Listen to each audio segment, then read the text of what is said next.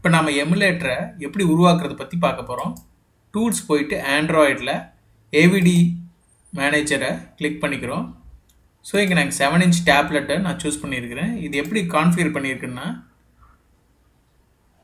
இங்கே பார்த்தீங்கன்னா இங்கே சேஞ்சில் நாங்கள் டேப்லெட் செவன் இன்ச்சஸ் அப்படிங்கிற ஆப்ஷனை சூஸ் பண்ணியிருக்கிறேன். நெக்ஸ்ட் இங்கே என்ன வேர்ஷன் சூஸ் பண்ணியிருக்கேன்னா ice cream sandwich ice cream sandwich ARM ப்ராசரை choose பண்ணியிருக்கிறேன். அடுத்தது உங்களுக்கு ஸ்க்ரீன் ஓரியன்டேஷன் போட்டோ வச்சுட்டேன். ஸோ இங்கே store a snapshot for fast start apps click பண்ணியிருக்கிறேன். ஸோ ஃபினிஷ் பண்ணிட்டேன். ஃபினிஷ் பண்ணிவிட்டு இங்கே ப்ளே கொடுத்தா அந்த ஏவிடிஜி மேனேஜர் ரன் ஆகும். பாருங்கள் இப்போ லோட் ஆகுது.